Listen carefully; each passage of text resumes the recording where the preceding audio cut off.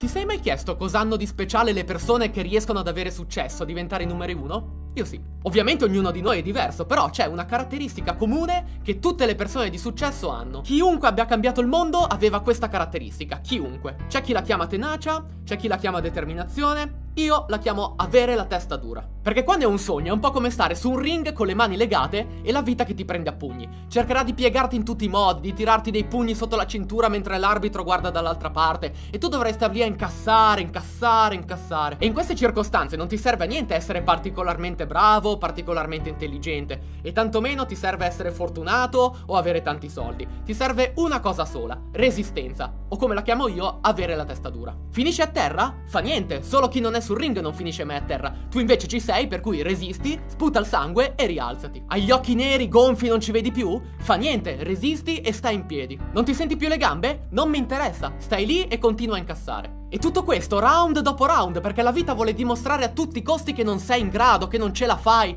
che gli altri sono più bravi, ma soprattutto vuole dimostrare che non ci tieni veramente, che al primo livido abbandonerai per non farti male. E spesso, a bordo ring, ci saranno quelli che tu chiami amici, i genitori, i parenti, chiunque, a dirti di lasciar perdere, a ridere di te, e magari a dirti che alla tua età sarebbe anche ora di smettere di star lì a prendere pugni e trovarti un lavoro vero. Ma se ascolti loro, non puoi ascoltare una cosa molto più importante, cioè quella voce nella tua testa che dice Ah sì? Mi vuoi sfidare? Bene, vediamo chi ha la testa più dura, dai. E allora tu stai lì, resisti, tanto non può picchiare per sempre, no? Prima o poi si stancherà. Gli altri hanno perso perché non hanno avuto pazienza, perché faceva troppo male, perché pensavano che sarebbe durata per sempre, oppure hanno preferito trovarsi una gabbia più piccola, ma con botte meno violente. Tu invece sei diverso, stai lì, resisti, e sai cosa accade poi? Quando arrivi al punto che un altro pugno ti manderebbe in coma, poco prima del colpo di grazia, la vita ti chiede. Allora, ti arrendi o ti uccido? Ma tu non ti puoi arrendere, tu hai quella voce nella testa che ti dice Dai, provaci, ammazzami, vediamo che sai fare, tanto non mi importa, dai.